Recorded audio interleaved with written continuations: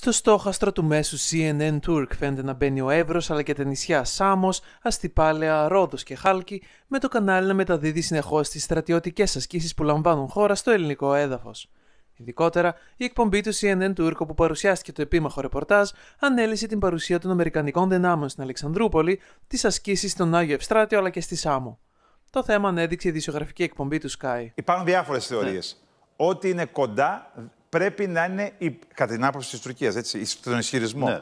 Δεν πρέπει, να, γι- πρέπει να γίνουν τα πράγματα όπως θα ήθελε η Τουρκία. Μάλιστα. Αυτό. Να μην προκαλούν, σου λέω. Όταν είσαι Δηλαδή, κοντά μου, μην προκαλείς. 30 χιλιόμετρα η Αλεξανδρούπολη δεν πρέπει να πηγαίνουν οι Αμερικανοί να κάνουν τη μεταφορά δυνάμεων. Lozan Antlaşması gereğince silahsızlandırılmış statüde olan Sisam Adası'nda yine bir hukuksuzluğa imza attı.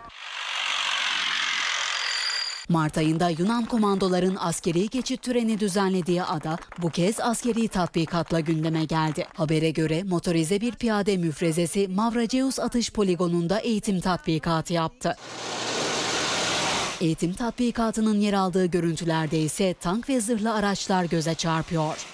Που είναι λίγο ανησυχητικό. Στο αυτό. CNN Turk τώρα Ε, βέβαια. θα δείτε ολόκληρη συζήτηση χθες το βράδυ, αλλά ε, συζητούσαν οι Αμερικανικές δυνάμεις στη, στη- στην αλεξανδρουπολη όχι άσκηση στον Άγιο Ευστράτιο, άσκηση έκαναν οι Έλληνες στη Σάμο, δεν πρέπει να γίνονται αυτές οι ασκήσεις.